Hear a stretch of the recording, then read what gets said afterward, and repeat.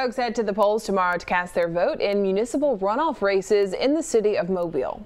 And one of the more closely watched races is the runoff election for the District 2 City Council seat. The District 2 is in a unique situation. The incumbent, Reverend Levon Manzie, passed away two weeks ago on September 20th, but his name will remain on the ballot. The challenger is former city council member William Carroll. If Manzie were to win, there would have to be a special election.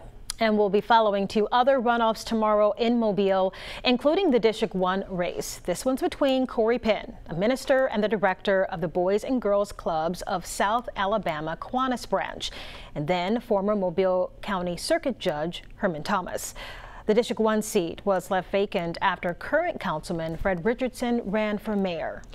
The other race is the one for District 6. Josh Woods, executive director of the grounds, is facing Scott Jones, a businessman and military veteran.